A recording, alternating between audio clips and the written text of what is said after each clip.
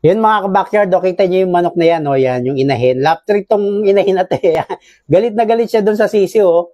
Alam nyo ba kung bakit galit na galit yung manok na yan doon sa sisiw niya? Kasi siya naglimlim eh, tapos napisa. Tignan nyo, ayan, oh. Tignan nyo yung kulay ng sisiw. Anong kulay? Kulay itim, di ba? Yung kulay nung ano, nung inahin, kulay puti.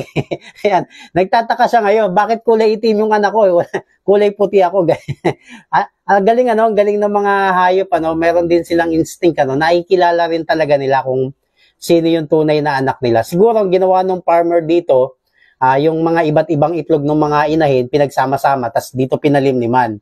Kaso nga lang, medyo matalino tong nanay na to. Sabi niya, hindi ko anak yan, hindi ko anak yan. Ayan oh, kaya lap trick tong manok na to eh. Tinutuka niya yung sisiw kasi iba yung kulay. Ayan oh. kulay itim kasi eh, yung, oo nga naman, yung ano, yung nanay kulay puti, tapos yung anak kulay itim, ano. May sense nga naman yung nanay, kaya nagagalit.